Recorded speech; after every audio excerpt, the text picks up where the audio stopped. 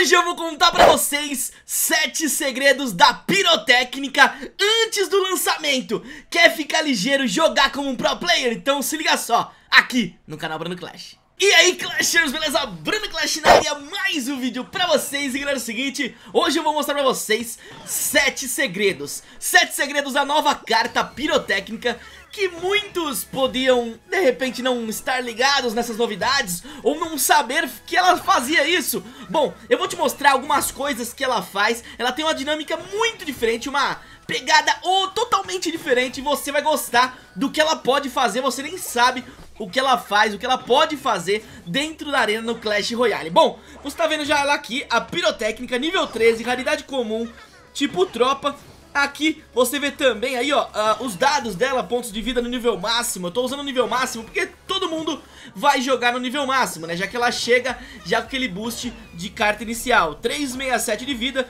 77 vezes 5 de dano à distância, alvo terrestre e aéreo. 6 é o alcance dela, bem, bem longo. É, velocidade rápida e velocidade do impacto do impacto 3 segundos. Bom, ela dispara fogos de artifício que explodem no impacto, causando dano no alvo e dispersando a tudo que estiver diretamente atrás do alvo inicial. Cinco vezes, né? Que são cinco é, projéteis. Bom, eu vou mostrar pra vocês na prática tudo o que ela faz de diferente, os sete sete, sete truques que os pro players vão usar e que você pode começar já a treinar. Então, se liga só, bora lá pro primeiro. Bom, a primeira coisa que vocês vão aprender é essa coisa que ela faz. Olha isso daqui, que doideira, galera. Vamos puxar a Valkyria e, meu amigo, dá uma olhada no que acontece. Ela vai simplesmente puxando a Valkyria pra trás, deixa as torres baterem e não não toma dano nenhum da Valkyria. Ela vai puxando a Valkyria e consegue sair tranquilona. Dá um ligo que ela faz com a P.E.K.K.A. É isso, agora com a P.E.K.K.A, galera. Agora com a P.E.K.K.A, vamos ficar ligado. Olha, dá um ligo que ela faz com a famosa Pecona. Dá até dó da P.E.K.K.A. Olha lá, coloquei ali a nossa queridíssima pirotécnica. Olha essa P.E.K.K.A, o que acontece com ela. Ela vai sendo puxada pro meio ali da arena, pro meu lado, né? Bate ali, destrói, mas acaba. É uma troca maravilhosa pra você que tá jogando com a pirotécnica. Brunão, será que funciona contra as cartas? Vamos ver agora, galera. Bora lá. Vamos tentar agora com o nosso esqueleto gigante, mano. Esqueleto gigante, hum, pode ser ousado. Será que dá? Vamos tentar agora, galera. Vamos tentar agora, galera. Será que vai dar? Vamos ver se, ela vai conseguir. O push pra, dela pra trás acaba deixando aí, ó, com que as torres destruam o esqueletão. E aí acaba explodindo e a bomboma não pega nem na torre. E aí, curtiu essa daí? Essa é animal, hein? Agora eu vou mostrar pra vocês a segunda dica que é utilizá-la contra hordas. Olha o que acontece quando você usa ela contra uma horda. Dá um liga agora galera, vamos colocar aqui ó, a pirotécnica e aí, vamos ver aqui o que acontece quando coloca os patifes. Dá uma olhada, galera. Olha o que acontece, meu amigo. Ainda você consegue dar até um dano naquela torre. Maravilhoso. E ela sai até bem vivaça ali, hein? Bem vivaça, tranquilão. Agora vamos utilizar contra uma horda, galera. Dá uma olhada aqui o que acontece com aquela horda que tá vindo pra cima de você. E você tem ela a nossa queridíssima pirotécnica, mano. Olha que doideira, mano. Ela se livra de todos sem problema algum, galera. Muito legal. Mas calma, tem muito mais, mano. Bom, agora nós vamos testar ela contra uma gangue de goblins, mano.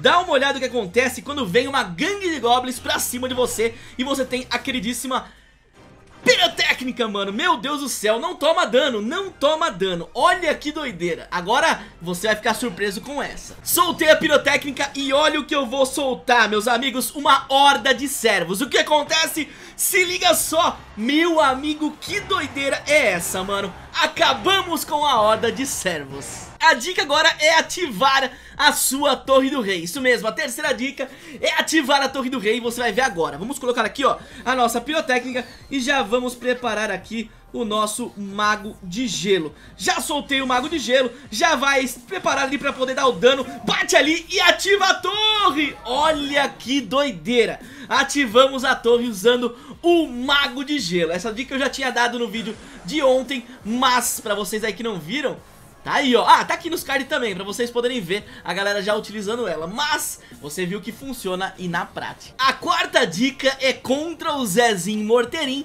e o Zé X-Besta. Isso mesmo.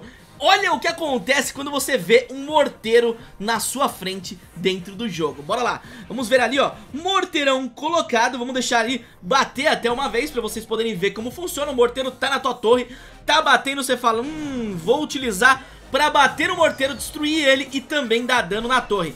Todas as batidas da da, da nossa queridíssima pirotécnica no morteiro também batem na torre se ela tiver colocada lá na frente. Então ela bate lá na frente e vai batendo lá atrás dentro do, desse range, acerta sim a torre. Olha que doideira. Agora eu vou mostrar uma outra coisa, agora contra a X-Besta. Bom, agora é a dica contra a X-Bow. Dá uma olhada no que acontece com a X-Bow, mano. Vamos colocar aqui a X-Bow aqui. Vamos deixar batendo já. Vamos colocar também aquela Tesla ali também. E a gente coloca, olha o que eu vou fazer. Vou colocar aqui meu queridíssimo é, Golem de Elixir Minha pirotécnica E vou dar aquela zapada pra chamar atenção. E aí, olha o que acontece. Vai batendo ali na Tesla Bate também ali no queridíssimo, na queridíssima ex-besta e consegue com isso destruir ela tranquilona. Então você pode utilizar aí de, uma defesa na frente, colocar a pirotécnica por trás e bater nela, utilizar ela bater também na Tesla e também na Xbox. Dá muito bom, galera. Agora na quinta dica eu vou mostrar pra vocês como você vai utilizar ela com os combos. Por exemplo, um combo de gigante com horda de servos, gigante com bruxa. Dá uma olhada no que acontece quando você utiliza ela direitinho. Vamos lá então, botar o gigante aqui e botar aquela famosa pirotécnica aqui. E a gente vê ali, tem uma... De repente tá vindo uma horda com gigantes. Você tem a pirotécnica aí Olha o que acontece quando você vai se defender do gigante. É muito bom, galera, muito bom.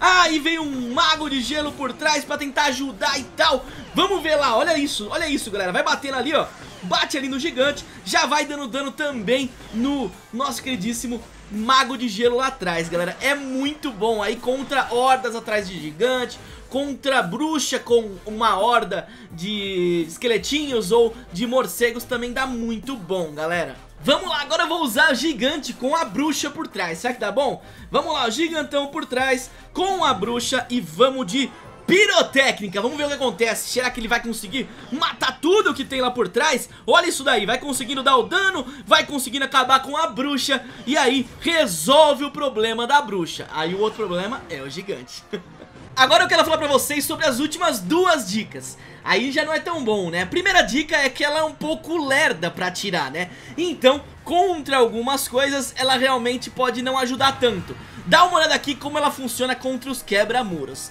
Vamos colocar aqui os quebra-muros aqui atrás e a pirotécnica aqui. Olha o que acontece, vai ficar complicado de defender. Vamos ver se vai conseguir ali, ó. Bateu a primeira ali, já vai ali, ó. Não tem como defender, ela acaba sempre tomando aí um dano. Se você quer colocar na lateral, inclusive Provavelmente pode ser que nem dê pra defender, vamos ver. Beleza, vamos testar agora na lateral. Como será ela quando tá vindo aí na lateral? O... Ata... Defendendo pela lateral Vindo aí de um uns quebra-muros. Acho que não vai dar tempo não, vamos dar uma olhada, ó, dá uma olhada. Bateu ali e acaba tomando os dois danos. Falei que era pior? Tem que tomar cuidado, ela é um pouquinho lerda. Dá uma olhada contra outras tropas. Vamos lá então, agora o teste é contra uma outra tropa que é muito rápido Que são os Espíritos de Fogo. Será que ela consegue resolver a parada contra os Espíritos de Fogo? Bora lá, vamos dar uma olhada então.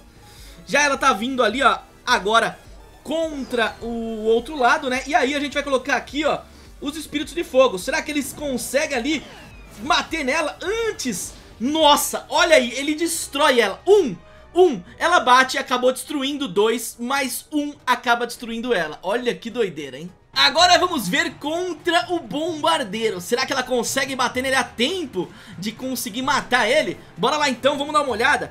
Vamos ver, ó, já subimos a pirotécnica ali. Vai chegando ali na frente. Vamos ver se ela vai conseguir matar ele o quanto antes. Já coloquei o bombardeiro aqui. Bombardeiro ali, a pirotécnica. E meu amigo, ele fica vivo e ela morre Porque ele é muito mais rápido E agora a última dica, a sétima e última dica é o seguinte, galera. Infelizmente, pra vocês aí que estão felizes de utilizar ela, olha o que acontece quando você tem umas flechas na mão.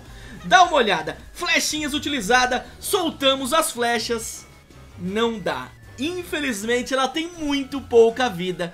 Então, simplesmente uma flecha pode resolver a parada contra essa nossa queridíssima pirotécnica. Que doideira, hein, galera? Mas é isso, rapaziada. Bom, é o seguinte, galera, além de tudo isso daí, ainda temos muitas novidades pra vocês. Então, se liga só também o que chega nessa atualização. É isso, além de tudo que a gente viu sobre a pirotécnica, que realmente é tudo diferente aí do que a gente já tem, a gente ainda tem o novo... Novo... Tem nova temporada, né, que é do Ano Novo Lunar, é isso mesmo, tá aqui, ó. Festival Lunar, é o Ano Novo Lunar, Festival Lunar, é basicamente a mesma coisa. Bom, a gente vai ter aqui a temporada 7 e a gente vai ter as recompensas como a gente tá acostumado. No nível 10 a gente vai ganhar aquela torre que a gente viu aqui nessas batalhas que a gente fez agora. Nova Torre do Rei e das Princesas. Também aí quando a gente chegar no nível 20 a gente vai ganhar um emote. Depois o restante aqui é tudo do que a gente já conhece, né? O emote, mas Bruno, cadê o emote? Calma, vou mostrar pra vocês agora o emote. O emote é esse daqui, galera, dá uma olhada no som. É muito legal. É a pirotécnica soltando aí, ao invés de uma bomba, alguns confetes.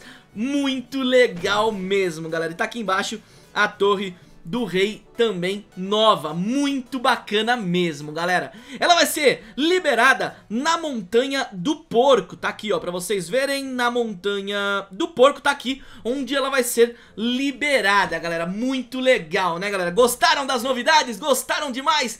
Tem atualização chegando também, e se vocês quiserem eu posso fazer outro vídeo mostrando pra vocês tudo isso, beleza? Bom, é isso, galera. Fiquem ligados, porque logo mais, ó na virada da semana aí, ó, começando a semana, já tá disponível pra vocês a atualização, então fiquem ligados, porque vai ser demais, mano. É isso, querem mais vídeos de atualização, de novidades? Comenta aqui embaixo o que vocês queriam ver também dessas novidades, dessa atualização, e eu trago pra vocês, beleza? Muito obrigado a todos, tamo junto, galera, não esquece de deixar seu like e se inscrever no canal pra não perder as novidades, os vídeos, os sneak peeks. É isso, manos, tamo junto, um abraço, falou, fui! Ouvi dizer que quem curte e se inscreve se sai melhor nas batalhas. É, sou boato. Inscreva-se! Inscreva-se!